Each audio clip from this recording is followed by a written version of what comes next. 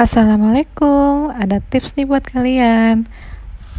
Nah, aku habis masak tapi gosong. Nah, jadinya gini deh.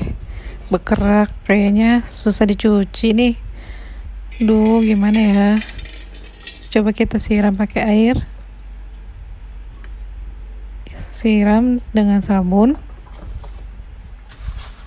Gosok-gosok.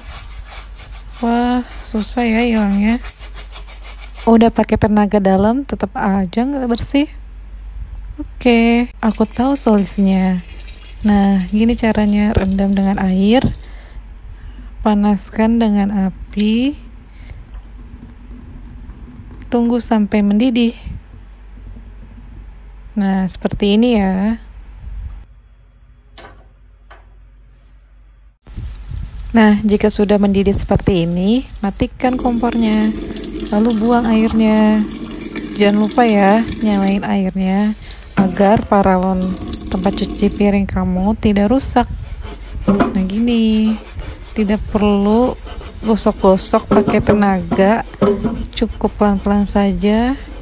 Dia gampang musnahnya. Si gosong itu. Nah ini ya tips dari aku. Selamat mencoba